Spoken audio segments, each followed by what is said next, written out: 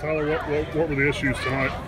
Um, we never found a uh, rhythm offensively. You know, we were we had good plays and we just couldn't string together. We go, uh, we, you know, we, we hit a pass play for 12 yards and then we get offsides the next play. And um, I think that's kind of been the story so far this this year. The offense has never really found a rhythm, and um, that's just something something we got to work on. We just got to work on that at practice. It's uh, finding rhythms and not shooting ourselves in the foot.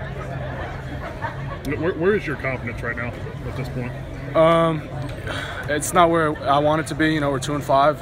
I, am not happy by any means. You know, my stats suck, but right now it's I'm, I'm only I only care about winning, and um, we're not doing that. So you know, I'm um, I'm not very happy. Uh, I think my confidence level is you know it's not it's not low, it's not high. You know, I'm right right now I'm eating a I'm eating a piece of humble pie. We're two and five, and it's not where I want to be. So it's just how football works. Coming into this game, obviously Fresno's defense got a, got a lot of pub. But just what were they doing to, to kind of get you guys off balance and disrupt you guys? Um, you know, I didn't I didn't think they did anything special. They just had good players. They made uh, they made plays when plays needed to be made.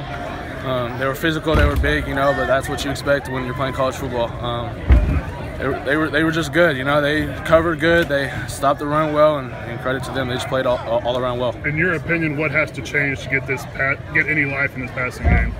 Um, yeah, I just think uh, everyone's on separate pages. Um, I think the off or you know my confidence isn't where it needs to be, and I think that causes the receivers to you know not not finish, and I think that causes me to miss miss, miss easy passes. Like at the end of the game, I missed the easy route to Tyree.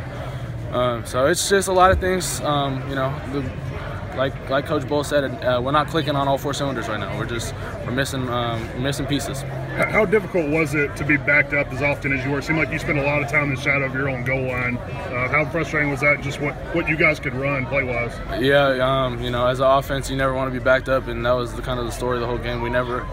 Uh, we never really flipped the field. Um, you know, we, it, it's, it's hard having a backup punter, but you know, it's it's the hands you're, you're dealt with, and we just got to do a better job of getting out of those situations when we're in them. You know, I thought we did a good job at times. We'd get out of them, and then, like I said, it was just shooting ourselves in the foot again.